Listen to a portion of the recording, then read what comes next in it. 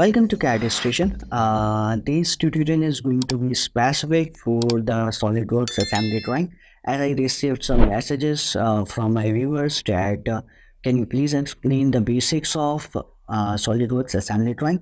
So I am here today to explain you how you can assemble uh, two to three components into assembly drawing and what you need uh, to do uh, the basics of mate and uh, how you can insert components. So let's start. Uh, i have some parts uh, that i have made uh, earlier. So i'm not going to model these parts here. Uh, i i hope you can model that simple parts. So i'm going to start from let's start from the assembly. Once first uh, keep remember when you are uh, when you have to do any assembly drawing then first we have to make some parts or the components of that assembly. Uh, then you have to come to this uh, new and simply select the assembly drawing. Once you select the assembly drawing uh, let me show you again. Uh, I'm just closed it. Now if I go to the new here is the option assembly if I just click on it then uh, the first it asks me where is my components.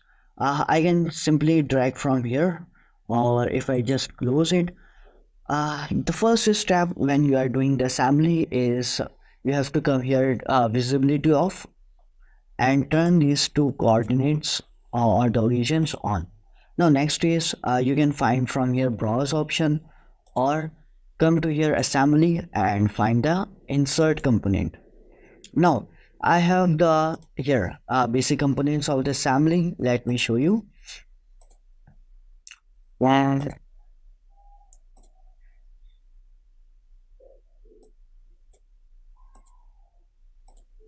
I have some of the components here. Uh, I'm going to show you uh, assemble two to three components in this video. So I have the base First, you have to select the component that's going to be the base or that is a main part of your uh, model.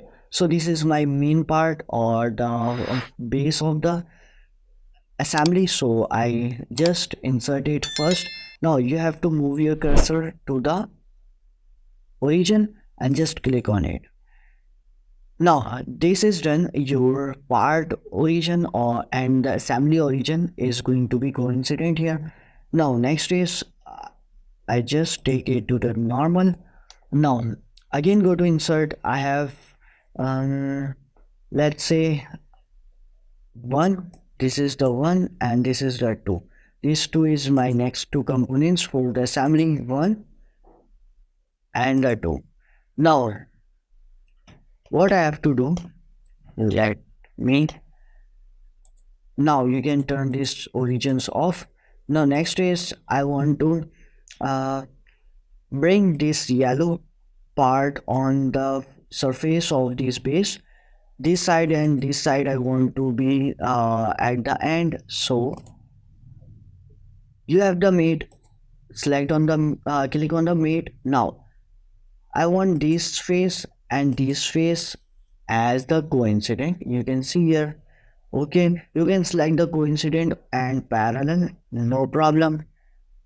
Okay now this one is moving i want to take this side and this side fix so coincident and okay.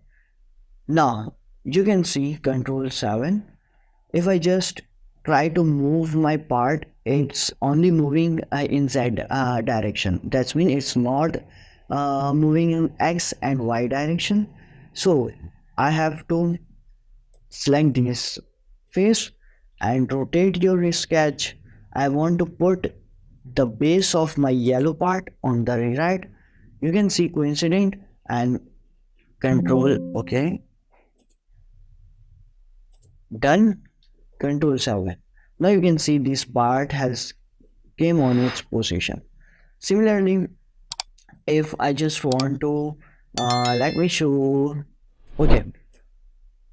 Take this part here. Now same uh, this part is on the right side of my assembly. I want to take this face uh, and make the coincident mate on this face. So mate you have to simply select the faces. It will automatically come on its position. Done now this uh, gray part is going free. So i want to make it control 7 i want to make it fixed so i have the option select the face and this face. And okay now control 7 now you can see it's only moving in uh, x and z direction so if i just make uh, we have done the coincident mate now let me show you.